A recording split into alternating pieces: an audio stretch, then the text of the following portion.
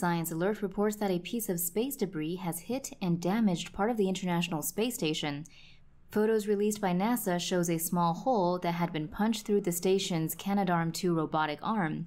The arm has been a fixture on the ISS for 20 years. It's a multi-jointed titanium robotic arm that can assist with maneuvering objects outside the ISS.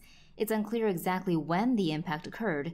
The damage was first noticed on May 12th during a routine inspection. NASA says the robotic arm seems to be working normally despite the damage. The space debris problem does seem to be increasing. Last year, the ISS had to perform emergency maneuvers three times to avoid collisions with space debris at its altitude of around 400 kilometers. An estimated 130 million fragments of man made material smaller than a millimeter are orbiting Earth right now.